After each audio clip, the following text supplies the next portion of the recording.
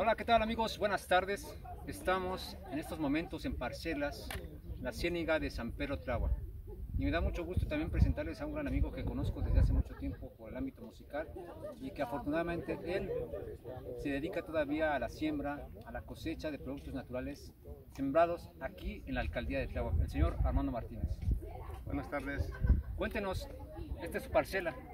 ¿Usted qué especies siembra, qué especies cosecha y por qué lo sigue haciendo en estas especies? Buenas tardes. Este, aquí seguimos conservando este, la, siembra de cultivos este, de temporal, aunque hay agua tratada, pero este, es un- una gran problemática en esa, en esa parte porque pues no, no siempre hay este, el vital líquido, ¿no? el agua tratada.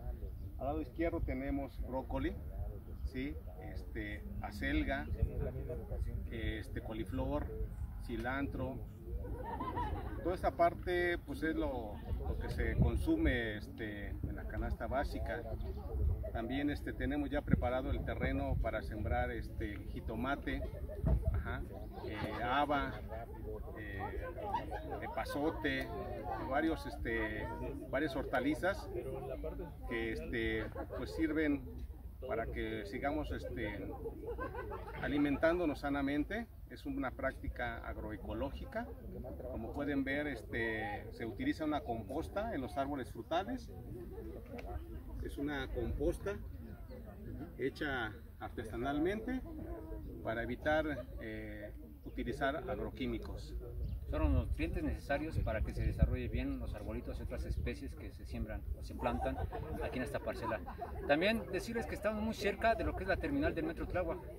Es una parte importante, estamos ya inmersos en una urbanización total, sin embargo se siguen conservando nuestras áreas naturales protegidas, áreas naturales que deben preservarse por muchos años aquí en la alcaldía de Tláhuac. E invitarlos, invitarlos a que consuman lo hecho en casa, es bueno, saludable, es bonito y sobre todo también es barato. Los precios no tenemos intermediarios, son directamente con los productores como el señor Armando Martínez. Apóyenlos.